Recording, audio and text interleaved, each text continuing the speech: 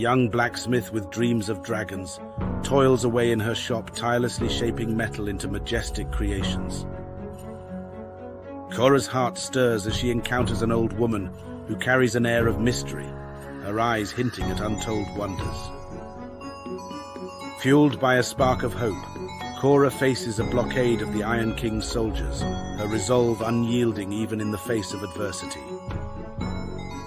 After enduring weeks of hardship, Cora stumbles upon a hidden glen, a sanctuary untouched by the king's iron-fisted rule, where magical creatures dwell and hope flourishes.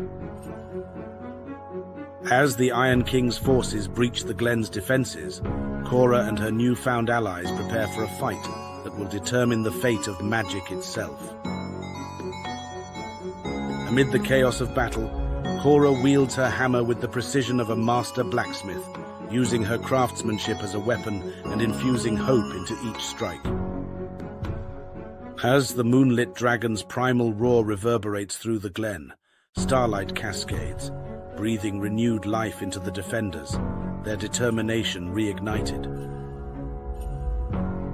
Placened with the markings of her newfound allies, Cora becomes a beacon of hope, standing tall amidst the ruins, leading the charge against the encroaching darkness.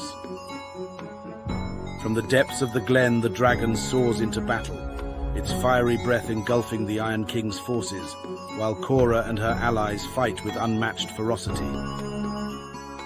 Victory is within reach as the Iron King's forces falter under the united strength of Cora and the fantastical creatures, the glen reclaiming its rightful place as a sanctuary of wonder. Amidst the remnants of the battle, Cora stands tall, her eyes alight with triumph, the moonlit dragon by her side, as the glen basks in the quiet aftermath of victory. As the story draws to a close, a spark of magic ignites, infusing the air with hope and promise, intertwining Cora's legacy with the enduring enchantment of the hidden glen, where wonders shall forever flourish you